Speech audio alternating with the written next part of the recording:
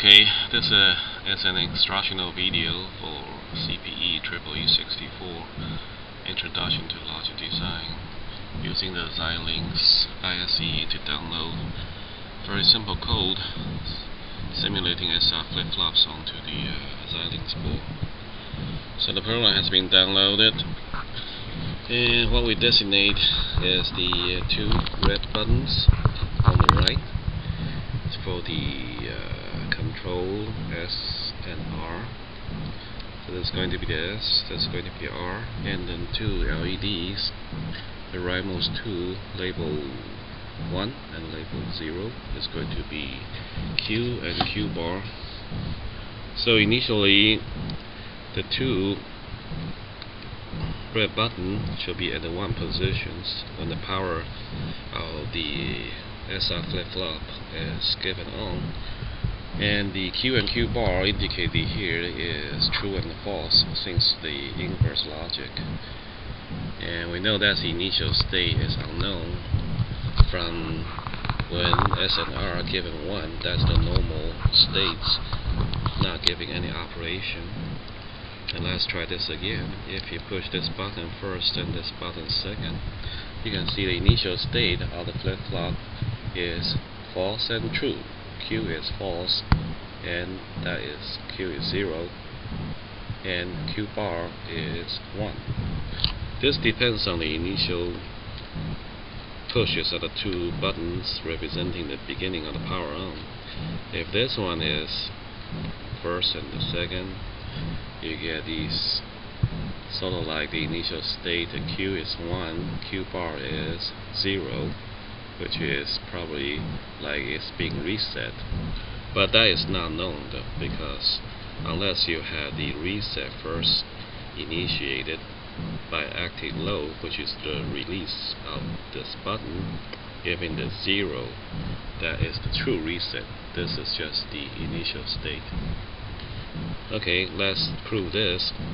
When you release this this is the reset button the R so the so you can see the uh, reset occurs then the flip-flops reads 0 and 1 the LED 1 is Q output which is on that means is 0 and the LED 0 is Q bar is off which means 1 now this goes back to one position, that's the normal position. S and R are both given 1. And then you see that doesn't change the LED, LED still having the 0 and 1 as Q and Q bar. Now if you push the reset R off and on, off and on, it doesn't change that until the S, the set button, is released. Then the LED changes to true and false for Q and Q bar. And then subsequently the S button is pushed off and on, doesn't change the constant output of the Q and Q bar being true and false until the reset is at least released once and then it flips over. The subsequent reset doesn't do the reset because it has been reset to false and true and uh, vice versa.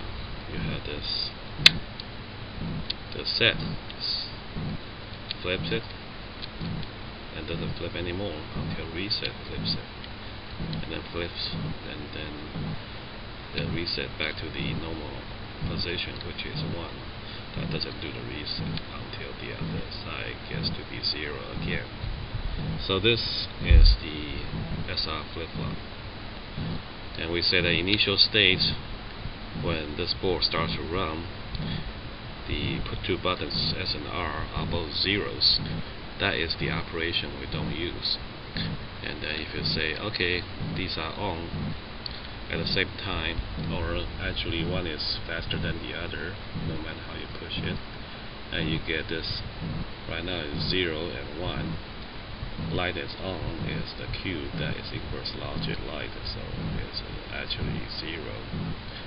And then if you say sometimes you have this guy pushed faster than that guy to be initial state, then you have 1 and 0. Okay.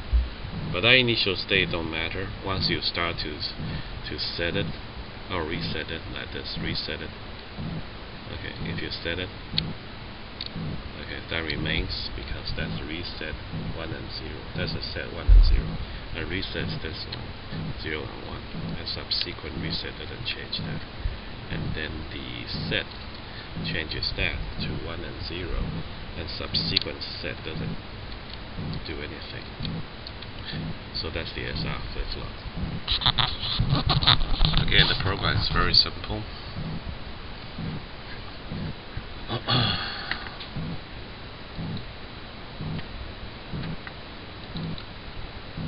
So basically just two lines of code assign the uh, Q is the inverted result of the S and the NQ and NQ which is Q bar is the inverse result of R and Q